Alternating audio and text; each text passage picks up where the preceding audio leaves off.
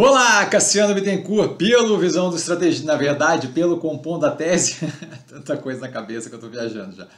Pelo Compondo da Tese, estamos aqui mais um dia, é, justamente para trazer o que eu vi de mais relevante semana. Vai ter uma cacetada de podcast, acho que bastante coisa ali que ajuda a compreender justamente aquela questão da Rússia. De qualquer modo, sempre bom começar com um disclaimer, o que eu falo aqui, minha visão sobre investimento, a forma como eu invisto, não é de qualquer forma, modo em geral, indicação de compra ou venda de qualquer ativo do mercado financeiro. A gente começa com as notícias mais gerais, tá? Não vou ficar espremendo a fundo aqui a questão da Ucrânia, a gente tem acompanhado bastante.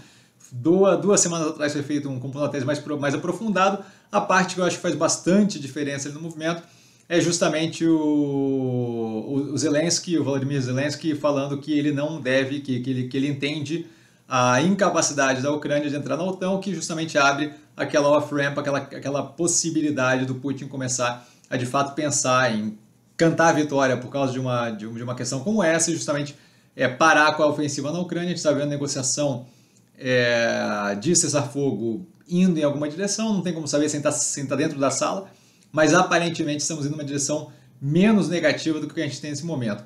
O segundo ponto é o Canadá autorizando a importação de carne bovina e suína do Brasil, é, de acordo ali com aquele movimento que foi feito pela Tereza Cristina, bem positivo. Tá? É, um, é um movimento que abre mais o mercado aí.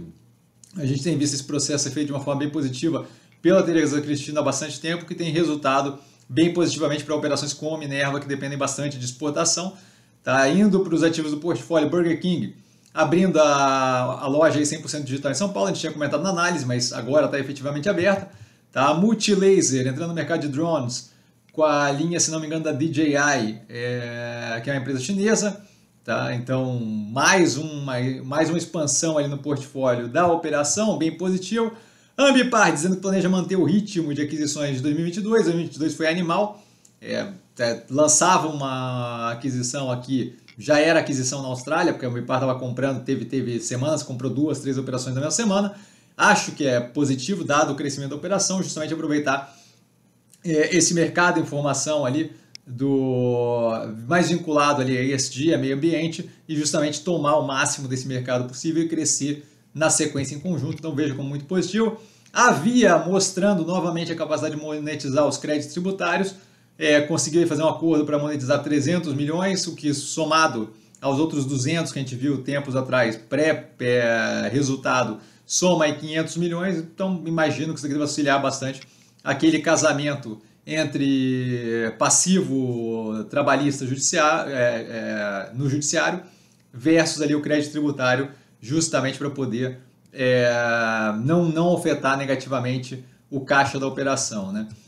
Passando daí para outras questões, e aí basicamente podcast, tem uma matéria aqui embaixo da BBC com um vídeo que eu acho que dá contexto, tá? acho que várias coisas aqui a gente precisa de contexto, falando justamente sobre é, um, um, pedaço da Ucrânia que está sendo defendido por pouquíssima gente e que mesmo assim não estão deixando os russos avançarem. E aí toda a, a, entrada mais próxima de um time da BBC que estava bem lá dentro, tá? quase se, se estreparam ali algumas vezes durante a filmagem.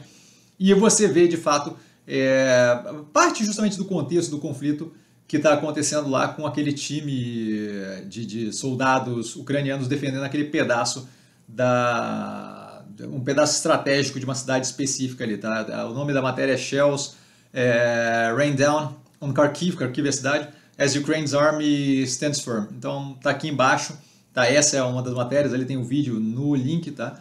É, Russia can't just shut down, shut off, desculpa, its natural gas supplies, é uma matéria do, é um, é podcast do Market, Marketplace, tá? Morning Report, falando ali sobre a incapacidade aparente da Rússia simplesmente cortar o fornecimento de gás para a Europa, o que justamente seria é um dos riscos ali de, é, de, de, meio que dar um troco na Europa, e aqui explica um pouco mais sobre a situação, acho que, que engrandece ali o conhecimento. O The Daily, do New York Times, falando sobre a história atrás daquela foto da mãe, as duas crianças e o, e o amigo é, mortos com as malas e tal, que estavam indo é, se retirar é, não lembro qual é a cidade ali ucraniana, mas que receberam shelling, né, receberam, se não me engano, um morteiro, e acabaram é, falecendo, e, e, justamente o conto pela jornalista que estava ali do lado, que aparece justamente nas primeiras filmagens, e foi ela, inclusive, que tirou a foto, Acho que vale a pena ouvir. Novamente, acho que dá um pouco mais de contexto e, e você vê um pouco mais o lado humano daquilo do que está acontecendo. É, é, acho que vale a pena para não avaliar aquilo ali como se fosse número de.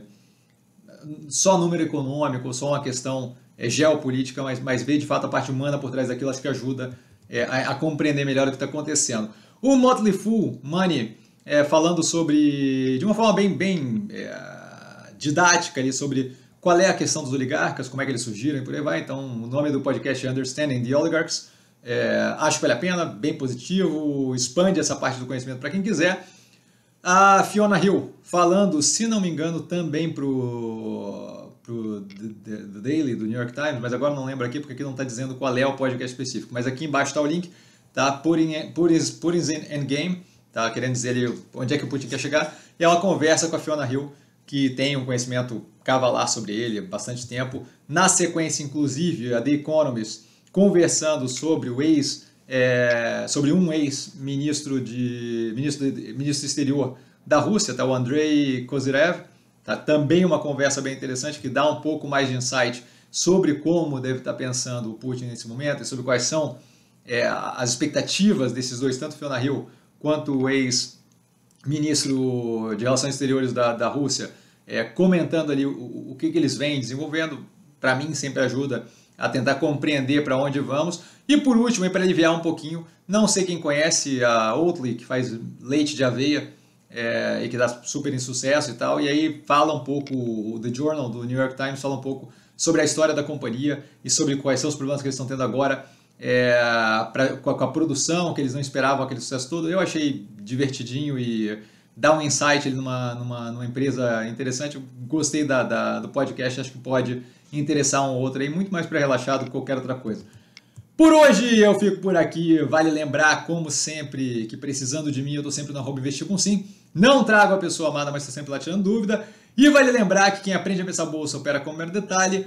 É... Amanhã, às 10 da manhã, nós temos Live by Warren aqui no canal, justamente onde eu tiro lá uma hora de dúvida direto de vocês. Tá? Um beijo para todo mundo e a gente se fala amanhã e domingo também, movimentos da semana às 7 da noite. Valeu, galera!